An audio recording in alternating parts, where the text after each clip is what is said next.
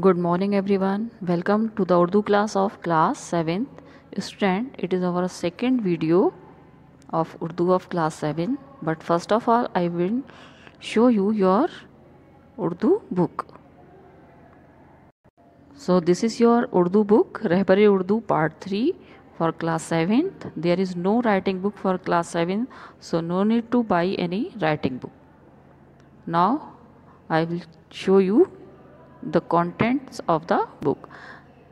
There are seven, 17 lesson in your book and we are going to cover four lesson in first unit. Lesson number 1, 2, 3 and 4. Lesson number 1 we have already completed in our first video and today we will cover lesson number 2 and 3 so, take out your book and open lesson number 2 allah is one. तो बच्चों, ये है आपका lesson number two अल्लाह एक है। तो सबसे पहले हम इसमें ऊपर लिखे हुए अल्फाज पढ़ेंगे। अल्फाज हैं दुनिया हाकिब कादिर, रिस्क और नेक। अब हम इसकी रीडिंग करेंगे। प्यारे बच्चों, हमेशा याद रखो, अल्लाह एक है। वही दुनिया और दुनिया की हर चीज़ का मालिक और हाकिम है। वही हर चीज़ का खालिक और सब जानदारों का राजिक है। हर चीज़ उसकी बनाई हुई है, वो जो चाहे कर सकता है, वो जब चाहे कुछ भी कर सकता है, वो हर चीज़ पर कादिर है।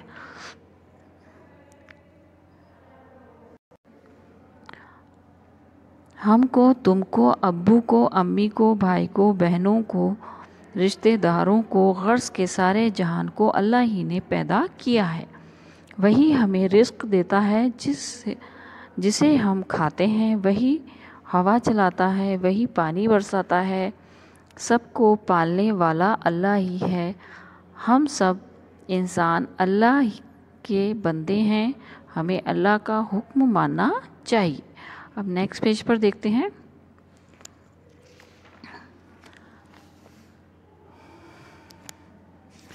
सीधे साधे रास्ते पर, यानी उस रास्ते पर चलना चाहिए जो हमें अल्लाह ने, अल्लाह के नबियों ने दिखाया है। बुरे कामों से बचना चाहिए, किसी का हक नहीं मारना चाहिए, किसी को सताना नहीं चाहिए, सबके साथ मोहब्बत से पेश आना चाहिए। ए अल्लाह, तू हम सबको नेक बना दे और सीधे रास्ते पर चला और बुरे कामों से दूर रख। आमीन। तो बच्चों, ये आपके लेसन की रीडिंग पूरी हो गई। अब हम इसके पढ़ेंगे अल्फाज मानी। अल्फाज मानी, पहला है हमेशा, यानी कि सदा, और इसमें ऑलवेज फॉर एवर दुनिया, जहान, आलम वर्ल्ड मालिक मास्टर हाकिम। हुक्म देने वाला। वन दैट गिव्स ऑर्डर फिर है खालिक, बनाने वाला क्रिएटर राजिक रिस्क देने वाला, यानी अल्लाह ताला, खुदा। One that give us livelihood यानी कि अल्लाह। जानदार वो चीज़ जिसमें रूह या जान हो। लिविंग बीइंग फिर है हमारा कादिर। कादिर का मीनिंग है कुछ भी कर सकने वाला, यानी Allah that can do everything फिर है अबू फादर, अम्मी, माँ, मदर, भाई, बहन ब्रदर एंड सिस्टर रिश्तेदार रिलेटिव्स हवा विंड पानी, बारिश, मुराद है। मतलब पानी का यहाँ पे मतलब रेन से है। सीधा रास्ता राइट पाथ सताना, परेशान करना टू बॉदर मोहब्बत से पेश आना टू मीट विथ लव और नेक मीन्स अच्छा या वर्चुअस तो बच्चों, ये इसके वर्ड मीनिंग हैं। ये वर्ड मीनिंग आपको अपनी नोटबुक में होमवर्क में करनी है। इसमें आपको उर्दू का वर्ड लिखना है और इंग्लिश का मीनिंग लिखना है। ये आपको हर लेसन में करने हैं। लेसन नंबर वन में भी करने हैं और इसमें भी करने हैं। तो इसमें आपको देखिए, इसमें जो आपकी लास्ट ईयर बुक थी, उसमें हिंदी का मीनिंग देते थे, इसमें उर्दू का, उर्दू ही में मीनिंग दिया है और एक इंग्लिश में दिया है। लेकिन आपको उर्दू का, उर्दू में मीनिंग नहीं, उर्दू का जो आपको मेन आपका वर्ड है, उसका इंग्लिश वाला मीनिंग लिखना है, उर्दू वाला मीनिंग आप नहीं लिखेंगे। अब देखिए एक्सरसाइज यानी कि मश्क तो इसमें है, तजियाती महकमा दर्जा झेल सवाल के सिर्फ़ एक सही जवाब का इंतखब करके निशान लगाइए। जिस यहाँ पे है सिर्फ़ एक कौन है? तो फरिश्ता, नबी या अल्लाह? तो सिर्फ़ एक तो बच्चों, अल्लाह ही है। दुनिया की हर चीज़ का खालिक और हाकिम कौन है? खालिक क्या होता है? पैदा करने वाला, हाकिम, हुकूमत करने वाला या हुक्म देने वाला? तो अल्लाह ताला है। तो यहाँ पर हम इस पर लगाएँगे। फिर है आपका जीम। हमें कैसे कामों से बचना चाहिए? अच्छे कामों से, बुरे कामों से, नेक कामों से। तो बच्चों, हमें बुरे कामों से बचना चाहिए। तो यहाँ पे हम थर्ड वाले पे निशान लगाएँगे। अब देखिए नेक्स्ट पेज पर देखते हैं। तो देखिए बच्चों, इस पेज पे खाली जगह भरिए। दूसरा सवाल है आपका। इसमें पहला है, अलिफ सारे जहाँ को अल्लाह ही ने पैदा किया है, हमें अल्लाह ही का हुक्म मानना चाहिए। हम सब इंसान अल्लाह के बंदे हैं, बुरे कामों से बचना चाहिए। अब है, दर्जा झेल सवाल के मुख्तर जवाब लिखिए। हवा कौन चलाता है और पानी को कौन बरसाता है? तो हवा को चलाने वाला और पानी बरसाने वाला अल्लाह ही है। फिर है हमारा हर चीज़ को बनाने वाला और सब जानदारों को रिस्क देने वाला कौन है? तो इसका जवाब है, हर चीज़ को बनाने वाला और सब जानदारों को रिस्क अल्लाह देता है।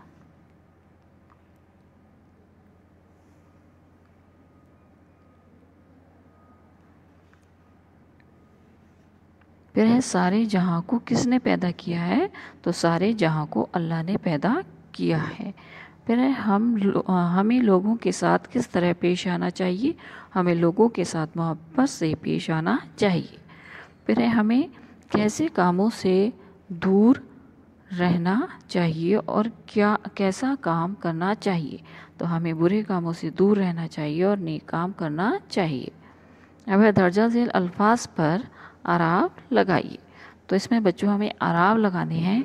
तो पहला है हमारा खालिक खे अली ज़बर खा, लाम काफ लिक फिर है हाकिम, हे अली ज़बर हा, काफ, मीम, ज़ेर, किम, हाकिम। चे, ये ज़ेर, ची और जे, साकिन, चीज़। जीम ज़बर जा, हे अली ज़बर हा, नून साकिन, जहान, दाल वापिश दूर साकिन, दूर। अब बच्चों नेक्स्ट पेज पर देखेंगे हम। इसमें देखिए दर्जा झेल हरूफ को जोड़कर अल्फाज बनाइए। तो बच्चों, इसमें हमें क्या करना है? हे अलिफ, काम काफ और मीम को जोड़ के हाकिम बनाएँगे। रे अलिफ जे और काफ से राजिक। नून, बे, ये वाव और नून गुन्ना से नबियों और मीम, अलिफ, लाम और काफ से मालिक। बच्चों, ये जो आपकी थी अल्फाज की मश्क, इसमें पहला सवाल जिसमें था और आप लगाइए वो और क्वेश्चन नंबर टू, ये वाला भी आपको अपनी नोटबुक में ऐसे होमवर्क करना है, ये वाला और इससे पहले वाला आर आप लगाने वाला, वो भी आपको होमवर्क में करना है।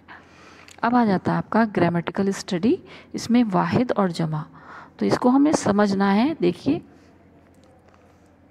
जो लफ्ज़ किसी एक शख्स या एक चीज़ के मानी देता है, वाहिद कहलाता है, मसलन लड़का, किताब, दरख्त, औरत वग़ैरह। अब जमा जमा क्या होता है उसकी? प्लूरल फॉर्म होती है। वह लफ्ज़ जिससे एक से ज़्यादा शक अशास अशखास का मतलब होता है शख्स की जमा है ये। शख्स एक आदमी और अशखास एक से ज़्यादा आदमी। या जगहों के मानी निकलें। जमा कहलाता है, जैसे लड़के, किताबें, औरतें, दरख्तों वग़ैरह। अब देखिए, तश्कीली या तोज़ी महकमा, यानी कि फॉर्मेटिव असमेंट ये आपको ये भी आना चाहिए। इसमें लिखिए, बच्चों, नीचे लिखे, लिखिए कि हमें कैसे काम करना चाहिए और कैसे कामों से हमेशा दूर रहना चाहिए। तो हमें अच्छे काम करने चाहिए और बुरे कामों से दूर रहना चाहिए। फिर है, अपने उस्ताद की मदद से अल्लाह के कोई चार सिफाती नाम लिखिए तो हमने लिखा है राजिक, हाकिम, खालिक और कादिर। फिर है, सही रास्ते और बुरे रास्ते का फ़र्क मुख्तर लिखिए। नबियों का दिखाया रास्ता सही और बुरे कामों का रास्ता बुरा है। तो बच्चों, ये वाला आपका जो लेसन है, वो यहाँ कंप्लीट हो गया। अब हम करेंगे यहाँ पे आपका लेसन नंबर थ्री कवर करेंगे। तो लेसन नंबर थ्री देखते हैं बच्चों।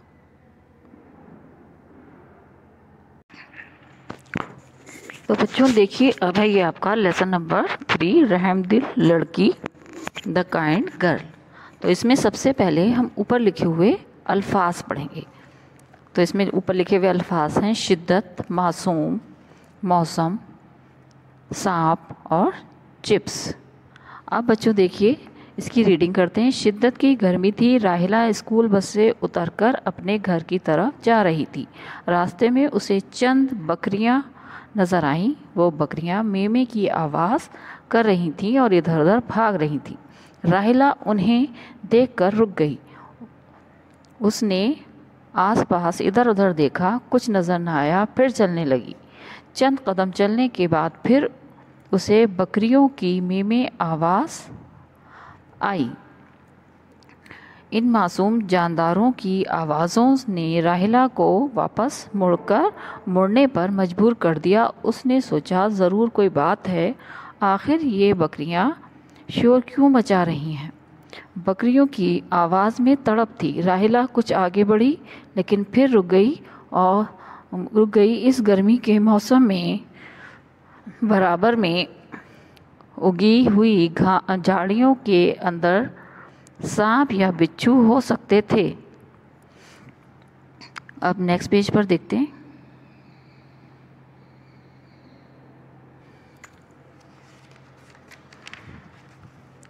राहिला को ख्याल आया कि शायद बकरियों ने कोई सांप देख लिया है, लेकिन ऐसा न था। उसने देखा कि एक मेमना मेमना यानी कि बकरी का बच्चा झाड़ियों के अंदर फंस गया है। ये देखकर उसे बड़ी हैरत हुई। बच्चा बहुत छोटा था, उसका मुँह चिप्स के एक बड़े लिफाफे में फंस गया था। बच्चा उसे उतारने की कोशिश कर रहा था, मगर नाकाम हो जाता था। उसकी हालत बिगड़ती जा रही थी। रायला ने झट से झाड़ियों में पहुंचकर बकरी के बच्चे के मुँह से वो लिफाफा उतारा और बच्चे को बराबर को बाहर निकाल दी। पास ही के एक घर से पानी लेकर मेमने को पिलाया इस तरह मेमने की जान बच गई। तमाम बकरियाँ राहिला के आगे पीछे में में करने लगी और कुछ तो उसके हाथों को और कुछ ने तो उसके हाथों को चाटना शुरू कर दिया। जैसे वो राहिला का शुक्रिया अदा कर रही हूँ। राहिला को भी बड़ी खुशी हुई कि वो किसी जानदार की जान बचाने में उसकी मदद कर सकी। फिर राहिला सुकून व इतमान के साथ अपने घर की तरफ़ चल दी। बच्चों, हमें भी दूसरों के काम आना चाहिए। तो बच्चों, ये तो थी ये कहानी आपकी जो कंप्लीट हो गई। अब देखेंगे इसके अल्फाज मानी। अल्फाज और मानी में जैसे हम करते हैं कि हमें उर्दू का अल्फाज और इंग्लिश का मानी लिखना है तो इसमें देखिए, पहले तो हम इसको देखते हैं। शिद्दत की गर्मी। शिद्दत की गर्मी, बहुत तेज़ गर्मी एक्सट्रीम हॉट चंद कदम कदम का फासला। सम स्टेप्स मासूम, जो किसी को नुकसान ना पहुँचा सके, तकलीफ़ ना पहुँचा सके इनोसेंट शोर आवाज़ें यानी कि अप्रोर और नॉइज़, झाड़ी, बुश, सांप, जहरीला रेंगने वाला जानदार, स्नेक, बिच्छू, स्कॉर्पियन, हैरत ताजुब सरप्राइज़, चिप्स, ये बच्चों के खाने की एक तली हुई चीज़ होती है। आप सभी चिप्स खाते हैं और उसका रैपर जो होता है उसे लिफाफा कहा गया है। वो ऐसे इधर उधर फेंक देते हैं। तो ये बच्चे ये भी नहीं करना चाहिए कि आपको लिफाफा, यानी कि रैपर को इधर उधर फेंकना चाहिए। आपको उसे डस्टबिन में डालना चाहिए। अब लिफाफे का क्या दिया है इन्होंने मीनिंग एनवलप सुकून व इतमान सुकून व इतमान का मतलब होता है दिली सुकून के साथ मुतमिन होना। Peace of mind and satisfaction तो बच्चों, ये जो है आपको ये होमवर्क में करना होता है वर्ड मीनिंग अब नेक्स्ट पेज अब देखिए बच्चों, इस पेज पर दर्जा झेल मारूजी सवालात के सही जवाब का इंतखब कीजिए और सही का निशान लगाइए। राहिला, कैसी बस से उतरकर घर की तरफ़ चल दी स्कूल बस से, सवारी बस से, ट्रैवल बस से? तो इसका जो आंसर है वो है स्कूल बस से। फिर है बकरियों की आवाज़ सुनकर राहिला ने क्या किया? दौड़ने लगी, बैठ गई या रुक गई? तो इसका आंसर है रुक गई। फिर है राहिला को झाड़ियों में क्या नज़र आया? सांप, मेमना, बिच्छू। तो उसे झाड़ियों में मेमना नज़र आया। फिर है आपका बच्चे का मुँह किस चीज़ में फंस गया था? लोटे में, तसली में, चिप्स के लिफाफे में। तो चिप्स के लिफाफे में। अब है आपका दर्जा झेल जुमलों में सही के आगे सही और गलत के आगे गलत का निशान लगाइए। तो सख्त जाड़े का मौसम था तो ये गलत है, क्योंकि गर्मी थी, यहाँ हम क्रॉस लगाएँगे। फिर है हमारा रास्ते में भेड़िए, भेड़ें चर रही थी। तो भेड़ें नहीं थी, बकरियाँ थी, जो थी। फिर बकरियाँ मे में करती फिर रही थी तो ये बात सही है, यहाँ सही का निशान लगाएँगे। झाड़ियों में सांप बिच्छू थे तो सांप बिच्छू तो नहीं थे मेमना था। राहिला ने मेमने के मुँह से लिफाफा हटा दिया तो ये वाली बात भी सही है तो यहाँ पे सही का निशान लगाएँगे। अब देखते हैं बच्चों नेक्स्ट पेज पर। तो यहाँ पर बच्चों हमारे जो हैं सवाल जवाब हैं। इनमें देखेंगे, दर्जा झेल सवाल के मुख्तर जवाब लिखिए। राहिला स्कूल बस से उतर, उतरी तो उसे कैसी आवाज़ें सुनाई दी? तो राहिला स्कूल बस से उतरी तो उसे बकरियों की, मेमे की आवाज़ें सुनाई दी। बकरियों को देखकर राहिला के दिल में क्या ख्याल आया? राहिला के दिल में ख्याल आया कि शायद बकरियों ने कोई सांप देख लिया है। हमें दूसरे लोगों के साथ कैसे पेश आना चाहिए? हमें दूसरे लोगों के साथ, दूसरे लोगों के काम करना चाहिए। है ना? दूसरे लोगों के काम करना चाहिए। तो उनके साथ मोहब्बत से पेश आना चाहिए, ये भी है। लेकिन यहाँ पर हमें दूसरे लोगों के क्या है? काम करने चाहिए। अब है हमारा लफ्ज़ों की मशक। दर्जा झेल अल्फाज पे आराब लगाइए। तो ये वाला जो होता है, लफ्ज़ों की मशक ये हर लेसन में आपको अपनी कॉपी में होमवर्क में करना होता है। तो इसमें आपका एक ही है, इसमें आराब लगाना तो इसमें हे ये ज़बर है, रे ते ज़बर, रत हैरत लिफाफा में लाम से ली, फ़े अलिज़फ़ा फ़े हे ज़बर, फ़ा, लिफाफा इतमान अलिफ तो ज़र इत, मीम ये ज़मी नून अली ज़बर ना, और नून साकिन नान इतमान काफ वापिश को, और शीन शीन से शिश कोशिश मीम एन ज़बर मास सीन वापिश सू और मीम साकिन मासूम तो ये बच्चों, आपको यही वाला करना है। अब देखिए, आपने सुना होगा, यहाँ पे फॉर्मेटिव असेसमेंट में आपने सुना होगा कि बकरियों की आवाज़ें मे में होती हैं, इसी तरह कुछ जानवरों की आवाज़ें अलग अलग होती हैं। कुत्ते बिल्ली और गधे की आवाज़ें लिखिए तो कुत्ता क्या करता है? भाव भाव बिल्ली म्याऊ म्याऊ और गधा, ढैंचू ढैंचू। और यहाँ पर आपको दर्जा झेल अल्फाज के जुमलों में इस्तेमाल करना है। बकरी बकरी एक पालतू जानवर है। बस हम बस से स्कूल जाते हैं। ख़त को लिफाफे में रख दो। तो ये हमारे यहाँ पे चैप्टर कंप्लीट हो गया। तो यहाँ पर आप दोनों चैप्टर के वर्ड मीनिंग करेंगे, उनकी अल्फाज लफ्ज़ों की मशक करेंगे और इन्हें लेसन को लर्न करेंगे। और हम जो है आपका लेसन नंबर वन पहले ही हो गया था, उसका किसी भी दिन टेस्ट ले सकते हैं। तो आप lesson number one two three अपना कंप्लीट कर दीजिए। अब हम आपसे नेक्स्ट वीडियो में मिलेंगे लेसन नंबर फोर के साथ। Till then take care goodbye and thank you